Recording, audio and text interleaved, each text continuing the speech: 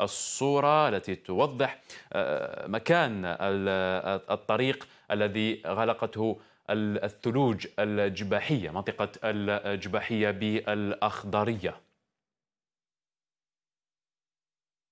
إذا آه، توقف حركة المرور على مستوى الطريق السيار بسبب تساقط كبير للثلوج. مشاهدينا الكرام لمعرفة أكية أين وجد المستعملو الطرق صعوبة في تنقلاتهم خاصة لأصحاب السيارات. يعني حركة المرور هي متوقفة الآن في طريق الجبحية بالتحديد بالأخضرية ولاية البويرة. كما آه، تابعنا مشاهدينا الكرام في الصور التي كنا نشاهدها قبل قليل. المكالمة الهاتفية التي كان معنا من خلالها المقدم خالد شاع قائد مركز الإعلام والتنسيق المروري للدرك الوطني ببوشاوي قال بأن وحدات الدرك الوطني منتشرة في أغلب هذه أو في كل هذه الطرق وهي تعمل جاهدة على فتحها لمستعمليها وقال بأنه في الساعات القليلة القادمة اليوم كأقصى حد غدا إن شاء الله ستفتح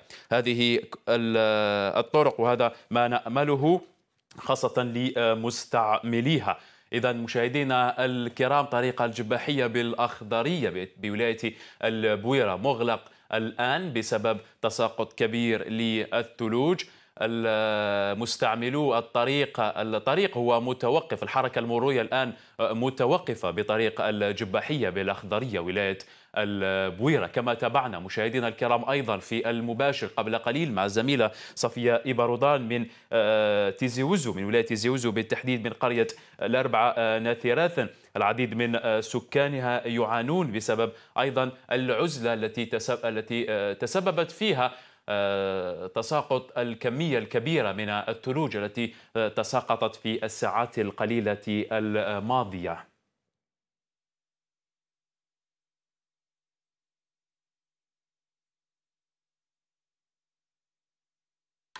إذا مشاهدينا الكرام الإضراب الجوي الذي عرفته مختلف مناطق الوطن أدى إلى سقوط كثيف للثلوج.